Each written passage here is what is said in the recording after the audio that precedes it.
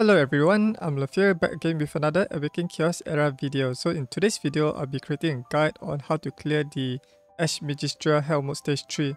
And this team that I'll be showing you can also be used for the Hell Stage 4, depending on how well you gear your damage dealers. So let's head over there. So this is the Arcane Dominator for the Ash Magisteria Hell Stage 3. I've also used the, the same team to clear the Hell Stage 4 as well. But this one will greatly depend on how well your heroes are geared, especially for your damage dealers, because the the differences between Hell Mode Stage 1 and 2, right? I mean, these two, Hell Mode Stage 1 and 2 versus the Hell Mode Stage 3 and 4, they require your heroes to be built with high amount of damage. And in order to achieve that, right, you need to max out your elemental power, which is uh, this one. So if you head over to the combat uh, window and click on the elemental power, it's recommended to have at least maxed out your uh, attack uh, stats here in order to deal as much damage as possible to those enemies in the Hell Mode Stage 3 and Hell Mode Stage 4. This is applicable to all uh, Arcane Dominator for Hell Mode Stage 3 and Hell Mode Stage 4. And another important thing to take note of is the Hell Mode Stage 3 and 4, they will drop favored gears as you can see this type of gradient, the purplish and, and the other background color here. This is to indicate it's a favored gear. Favored gear will have some additional stats on top of these uh, substats. And one thing that makes this uh, Hell Mode Stage 3 and 4 difficult across all of the dungeons in the Arcane Dominator is they have addition the, the boss have additional uh, abilities. So for the case of Ash Magisteria, they have this specifically for Ash Magisteria, the fire imps around the uh, fire boss right when he summoned them. Those fire imps have a unique uh, passive skill that upon receiving fatal damage, fire imp ignores this instance of damage and recovers 30% of max health. So for instance, if your damage dealers are able to deal maximum amount of damage to kill off those fire imps, right? Those fire imps will be like revived and will be healed with 30% of max health. Then you need to perform another AoE attack at the same round in order to kill to kill the fire imps around the fire boss. So that is the main differences between the Hell Mode Stage 3 and 4 against the Hell Mode Stage 1 and 2. And apart from that, the boss AI also will be slightly different. He will cast a fire bomb. Okay, this one flame bomb.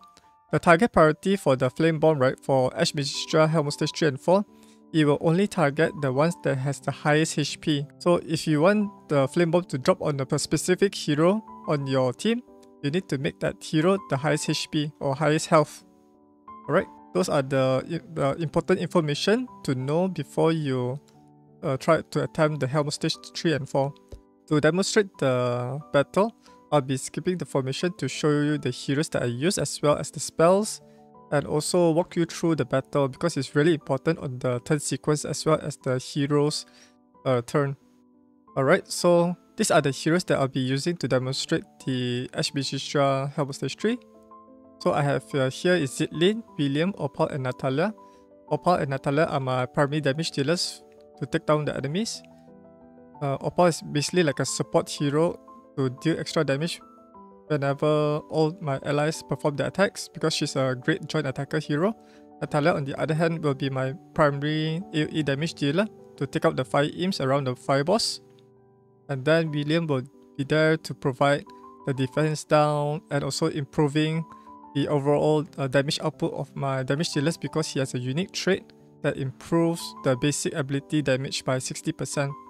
And apart from that, he's there to apply the counter attack buff so that Nathalia will have sufficient buff to attack all of the enemies as well as the counter attack buff to perform the second round of uh, attack. And then Ztlin on the other hand will be there to apply his curse. His curse allows uh, the enemy to receive double damage upon the curse debuff uh, expires. So you need to deal as much uh, damage as possible when the curse is applied. Apart from that, he's also capable of applying uh, shield and heal over time whenever your hero takes damage. Alright, and for the spells, I have Sundering Purgatory to apply the defense down so that the enemies will receive more damage. And most importantly, Gaia's Renewal so that your heroes have some supplementary healing because there's no dedicated healer here on this team. Alright, so let me show you the battle. Alright, so I'll put this on manual mode. So for the first part, right, I have set up William to go first. He'll be there to apply the Sundering Purgatory, ensure that he has sufficient focus, at least about 80 to 100% focus, to apply the defense down on the enemies. Okay, and on auto, right, he'll be using his order, uh, order advanced ultimate ability to also cast the defense down. And next, Ztlin will use his Omen of Demise to apply this curse. Basically, this curse allows the, the uh, enemy to receive double damage upon the curse uh, is expired. But somehow the AI is not that really smart because he uses this on the uh, enemy mob rather than on the boss compared to like uh, stage 11 and stage 12 of the dungeons. And then I speed tune Opal to go before Nathalia. You can you, you can either set Opal to go before or after Nathalia. However, it really depends on your damage output of uh, of your Opal. If your Opal uh, does uh, less damage and, and unable to finish off the fight in, you need to speed tune Opal to go before Nathalia, like, like right now. If your Opal has a high amount of damage, you have some mastery books on her, then you can set up Opal to go uh, after Nathalia. It, it doesn't really matter at, at the point if your Opal is strong enough. If your Opal is not strong, set her to go first before Nathalia. Okay? So she will use his, her ultimate ability, Soul Catcher, on, on one of the enemies here, especially the, the big fire imps here. And then Nathalia will perform her ultimate ability, Arcane Nova, to wipe out the first two uh, enemies in the, on the front row. And then Op Opal will perform her, her joint attack because she has this unique buff on herself already. And then... Alright, so as you notice, right, this fire imp just not attack Ztlin, the, the target priority of the enemy, that you will target the highest health. So as you, as you see here, my Ztlin has higher health compared to William. That's why he attacks uh, Ztlin. In case if there are two enemies alive, right, you will attack uh, Ztlin first, followed by William. So it's best to have to leave at least one enemy here so that you not damage these two heroes. Otherwise, right, you need to set up uh, both of them in like revival set.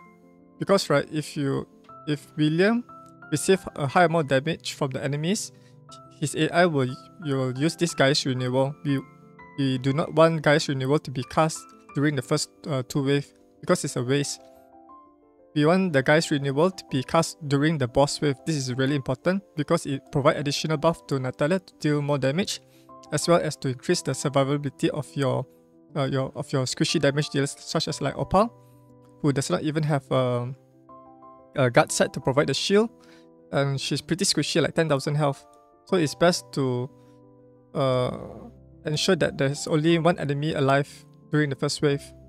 And apart from that, if uh, for, for your Ztlin, right, it's recommended to heal him in the revival set so that he'll be able to heal his health so that he won't be need he, he won't be needing the what's this called this Gaia's renewal to to to heal him up. So during this wave, William will use his order of hold position to apply the counter attack buff. This one can be a random one. He can apply the defense up buff to any of these heroes. And then Ztlin will perform his A1 ability, which which uh, Opal will join attack. And you notice that the first wave, right, Nathalia only attacks once. This is also really important. Nathalia can only attack one time per wave. If she attack more than two times in one wave, right, it will screw up the, the turn order during the boss wave because, right, uh, Nathalia has a passive skill that has that provides this immune up buff and attack up buff. So you want it, uh, you want the Nat Nathalia passive skill to only trigger during the first wave and only on the boss wave. So during uh, this wave, right, uh, William will perform his uh, default ability on the Big Fire Imp here. Then followed by Ztlin. Ztlin will perform his uh, ability on the, the Big Fire Imp. And then Opal will try to finish off uh, this uh, Fire Imp. Okay. And by this wave, right, your, your Nathalia must be strong enough to wipe out all of these enemies if it, if your Nathalia is not strong enough to wipe out these enemies without the defense down buff, right? You need to build your Nathalia strong enough uh, to to to use this uh, team composition. Otherwise, you you won't work. So during the boss wave, right, Nathalia uh, William will perform his uh, ultimate ability. This one is an 80% chance to apply the defense down. And then Ztlin will perform his A1 ability. Followed by Opal. Opal will use her ultimate here. And then followed by Nathalia. As you notice, right, Nathalia now triggers her passive skill, Arcane Ward, which applies the attack buff and immune buff on this round itself. So she has uh, at least 4 buff, as you notice, shield buff, counter attack buff, attack buff, and immune buff to attack all of the enemies around the fire boss. If she does not have sufficient buff, right, she will not be able to attack all of the fire imps around the boss here.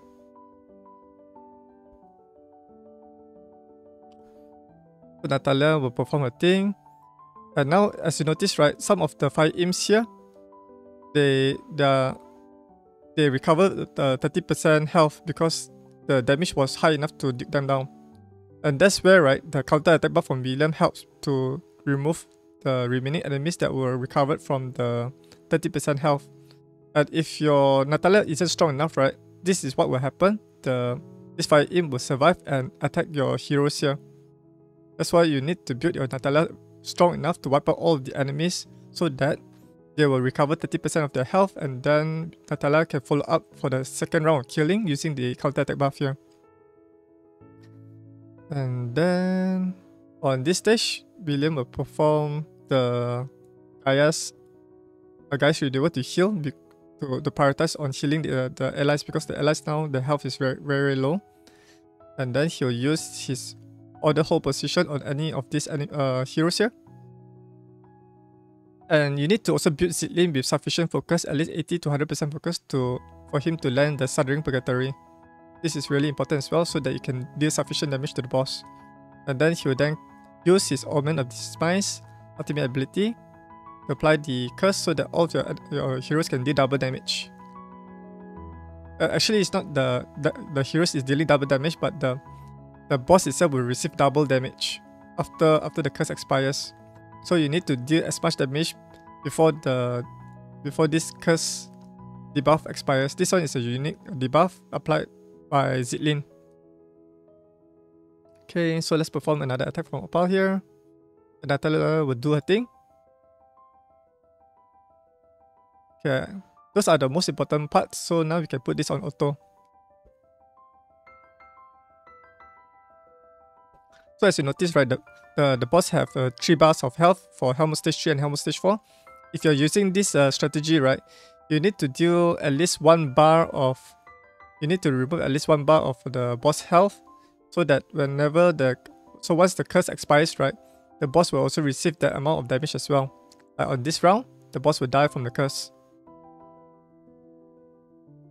And if the boss is is not able to be killed by the curse, right, then your your team will fail because the when when Ztlin takes his turn on the on the round eight, no, on after, uh, upon the round seven, Ztlin and the allies will die because of the bomb explosion. So that's basically it for the explanation on of this uh, battle walkthrough. So I'll perform uh, auto battle to show you how fast it takes to run this uh, team composition. Alright, so at the start of the battle, William will go ahead with his defense down, followed by Ztlin with his ultimate, and then Opal will take her turn to trigger her ultimate so that she can perform her joint attack whenever her allies perform the attack. Then Nathalia will clear off all the wave, leaving on one left. Then Ztlin will perform the attack and Opal should finish off this enemy. Okay, so let's move on to the wave 2. Do take note that Nathalia should only attack once per wave within the first two waves. So with the help of the joint attack, Opal will be able to reduce the Fire Imp health low enough so that Nathalia can finish all of them within her ultimate attack here. So moving on to the wave 3 where the boss is located, he, will summon at least around about 7 Fire Imps around him compared to Hell Mode Stage 1 and Hell Mode Stage 2. Then the following heroes will perform their attacks followed by Nathalia. She will have 4 positive effect by herself and this allows her to attack all of the enemies. She must have at least 4, four positive effects on wave 3. And then with the help of the counter attack, she'll be able to clear off the fire imps that survive with the 30% uh, health increase there. That's why it's really important to have at least the Gaia's Renewal healing ready at this wave so that we can take on the damage after the Fire Imp attacks. And then the Gaia's Renewal can heal off the allies here. So now as you can uh, notice, right, the boss has this some sort of like purple cloud uh, on his tummy there. That is the Ztlin's curse debuff. So you need to deal as much damage as possible during the curse effect so that once the boss takes his turn before round 7, all of those damage that he has taken during the curse debuff will be multiplied by 2. So that's how you clear off the big boss in Magisteria. So let me end the battle. And there you have it. So the average battle duration it takes is around about 2 minutes and 4 seconds, not including the waiting time or the transition of the each battle in the auto battle here. Alright, so let me quickly show you the gears and stats of each of the heroes so you can replicate this on your account. Alright, so this is the first hero that starts in the battle first, who is William. So let's check out his overall stats here. So uh, the, the stats to prioritize for William would be the speed, focus, and followed by health and defense. You want him to go first so that he can cast the defense down, and then some focus so he can apply the defense down uh, to prevent the enemies from resisting it. Ideally, this one should be close to 80 to 100%. Would be better so that it prevents the enemy from resisting the defense down so that all of your damage dealers will be able to deal damage. For the speed, right, you do not need as high speed as this. Uh, basically, this is my build for my guild boss. So I just use it as it is.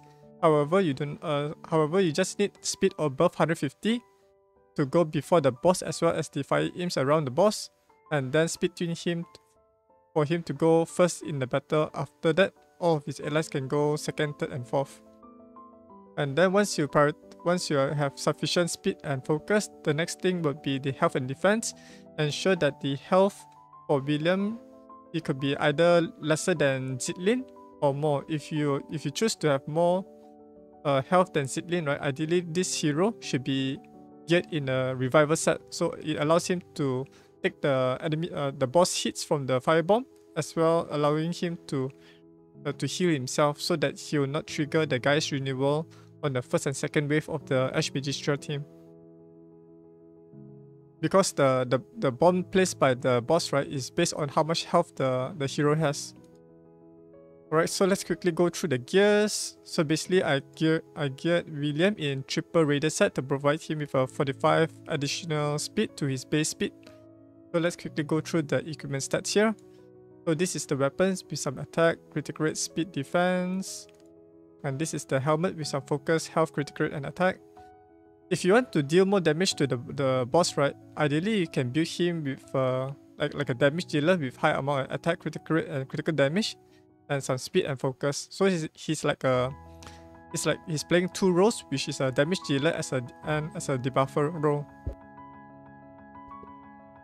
Alright, so the next piece of equipment is the chest plate with some focus, triple roll upgrades on focus, critical rate and critical damage. And this is a speed boot with some health, defense and critical rate.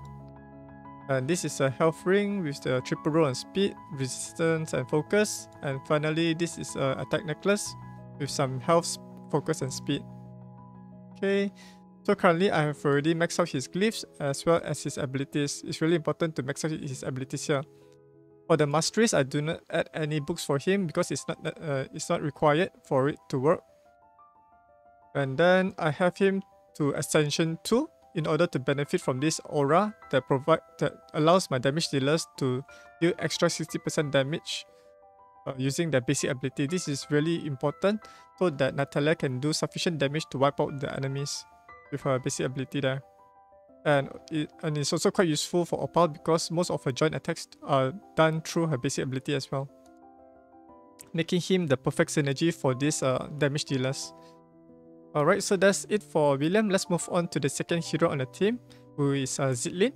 Alright, so this is the second hero that goes second in the team, who is uh, Ztlin here. So ch let's check out his stats.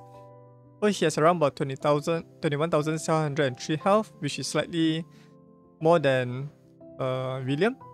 1475 defense, 219 speed, uh, some focus, close to 100%. And yeah, so that's basically it for Ztlin.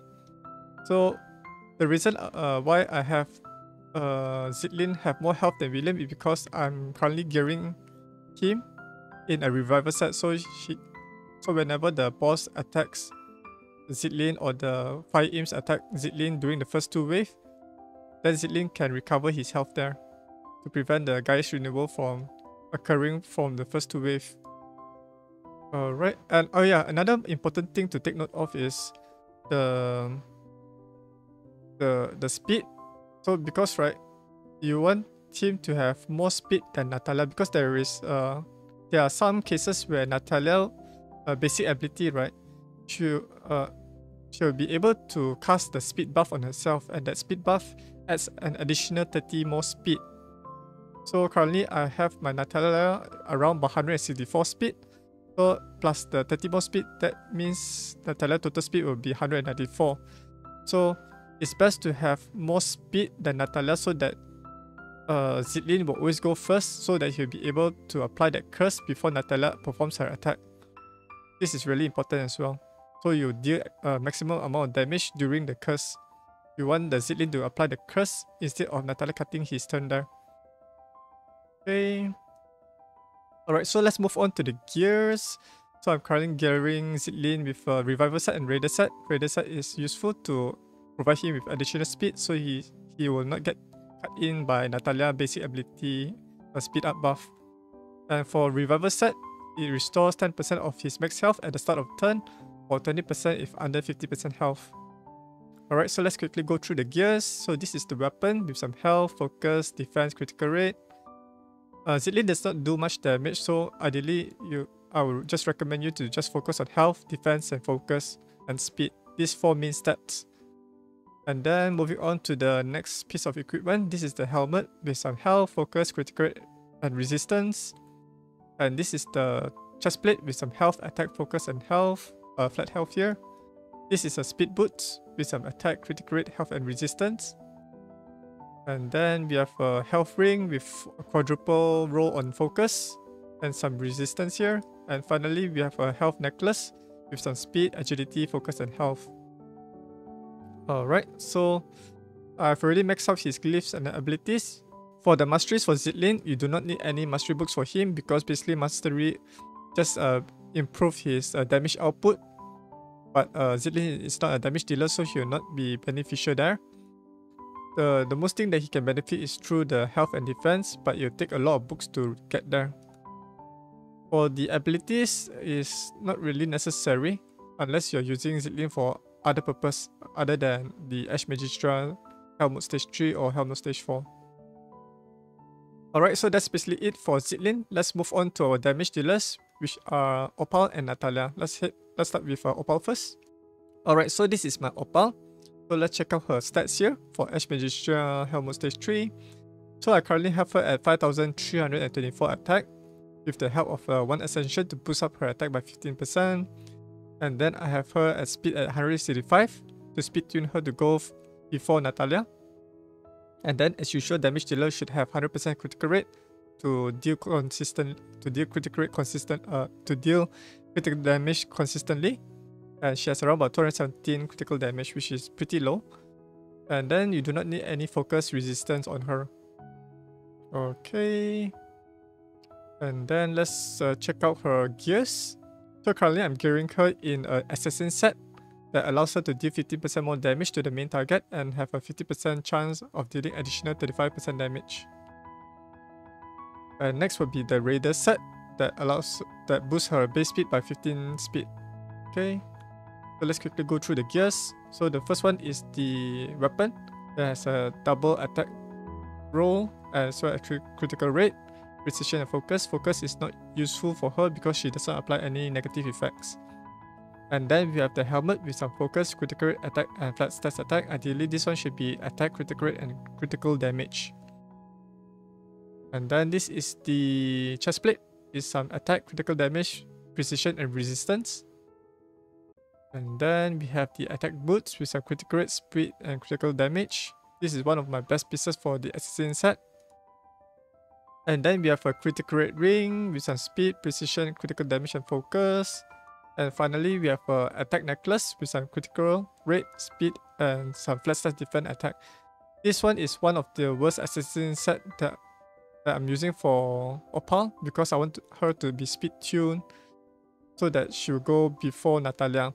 If you're able to build Nathalia, uh, if you're able to build Opal with very high amount of uh, attack stats through the mastery system, then you, you can speed tune Opal to go after Nathalia. This is also another case where you, uh, that I've already tested and, and it's also working, provided that your Opal can deal high amount of damage.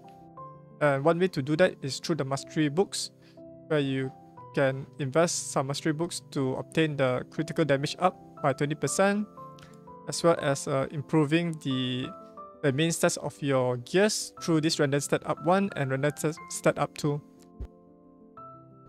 I've invested one of the legendary books on Opal to enhance her ability Perfect Shot so that she'll be able to do uh, additional 10% more damage through her basic ability which is frequently used for the joint attack. And it's also quite useful to uh, to use some legendary mastery books to improve her critical rate so that you can focus more critical damage and attack stats on Opal for her to deal more damage. Okay, so that's basically it for her gears and mastery. Let's quickly go through the glyphs. So her glyphs are all maxed out as well, and as and also her skills are all maxed. Alright, so let's move on to the fourth and final hero on the team, who is uh, Nathalia. Alright, so this is my Nathalia. She's the fourth hero that goes last in the team. So here are her total stats. She has around about 6270 attack, 100% critical rate, 312% critical damage, and 164 speed. She's speed tuned to go last in the team. And also make sure that she's not too fast until she outspeeds your debuffers like William and Ztlin. So you need to play around with the speed. So currently I have a I have a speed at 164 because I'm using her in other parts of the game such as like Void Tower Heart because Void Tower enemies need at least 160 speed and above. That's why I set her to at, at this speed at the moment. And yeah, that's basically it for her stats. And let's move on to the gears. So currently I'm gearing her in a double raider set to provide her with 30 additional speed as well as a guard set to trigger her arcane ward passive ability. So this guard set provides the shield that equals to 30% of her max health for 3 turns at the start of the battle. And this one synergizes with a skill here as I mentioned earlier the Arcane Ward, she needs the shield buff on herself so that she'll be able to trigger the attack up buff as well as the immune for 2 turns. Okay, that's the reason why I mentioned that she only needs to attack one time per wave. So during the boss wave, right, the cooldown will be reset, then she can cast the attack up buff and immune buff so that she has at least 2 buff from herself plus the shield and counter attack. In case the shield is depleted by the enemy attack, Ztlin will come in with his uh, continuous heal buff to provide Nathalia at least 4 buff for her to finish off the fire imps around the boss. This is really really important. She needs to only uh, reset her arcane ward or trigger her arcane ward only on the first wave as well as the third wave. She must not trigger her passive skill on the second wave. Alright, so let's uh, quickly go through the equipment, equipment stats here for Nathalia. So this is the weapon. There's some attack, focus, critical rate, and speed. Ideally, this one should be a critical damage uh, stats here. And this is the helmet with a double roll and attack, critical rate, and double roll and critical damage, and some focus. And then we have the chest plate with double roll and attack as well as critical damage, focus and health. Focus is not useful for her because she does not apply any uh, negative effects. And this is a attack necklace with a triple roll on critical rate, once uh, flat stats on attack, and critical damage. And this is the critical damage ring with a double roll on attack and single roll on critical rate. Precision also is quite useful for her because it allows her to deal some damage against strong affinity heroes who are the wood affinity hero, uh, enemies. And last but not least, this is her attack necklace with uh, some focus, critical damage, and critical rate. Okay, so that's basically it for her gears. Her glyphs and abilities are all maxed out. In order to reach a high amount of uh, attack stats, right, you need to uh, use mastery books on her. I've this um, testing. Actually, you do not need this high amount of uh, uh, damage.